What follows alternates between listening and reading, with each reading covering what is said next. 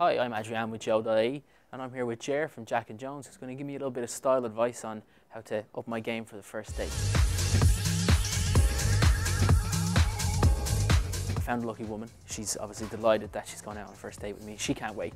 But I need to change my look up a little bit, dress a little bit smarter. You have a few collections here in Jack and Jones. What should I be looking at? Okay, well as we discussed earlier, the premium brand is the sartorial collection within Jack and Jones. So you know here you're very, you're really in the men's comfort zone in terms of picking up a, a nice classic sort of, uh, you know, dressy piece, but uh, still, still kind of casual.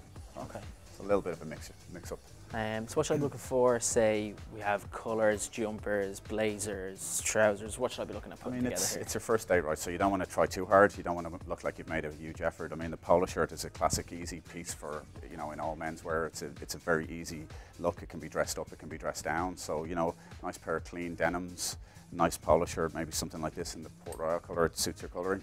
And uh, yeah, I think I think uh, we could try something like that. You know, if you wanted to uh, maybe try this and. Uh, the darker denims, which are you know coming into now, like it's very sort of uh, again on trend. It's just a good clean wash, very very sophisticated sort of grown up look. So uh, we could try putting you in this and see see what you think. Seems pretty good to me. What about the fit on these? Uh, are they slim, regular fit? Uh, this is a the- this is very this is a regular fit, so it's uh, it's very much kind of sort of a, a, a a comfort fit through the tie. Tapers in a little bit at the end, but uh, nothing major. It's just a good sort of uh, look really good actually with the pair of desert boots. Yeah, it's just a very sort of uh, very easy straight fit. not bad. Pretty casual, but uh, still keeping it stylish. I think. Yeah, it's. I mean, it's a very classic. Like I said earlier, the polo shirt is a quintessential, you know, uh, sportswear piece.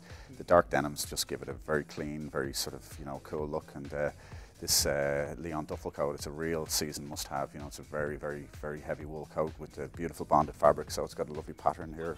The two fabrics are bonded together. It's a, it's a good, you know, it's a classic grown-up look. You know, Yeah, we're heading into to winter, so Yeah. going to be essential to have Absolutely. a solid coat. you Keep gotta you have, you gotta have that big, heavy winter coat. It's an essential piece. protected from the elements, obviously. Yeah. Of course, the big question is, how will these look on the bedroom floor?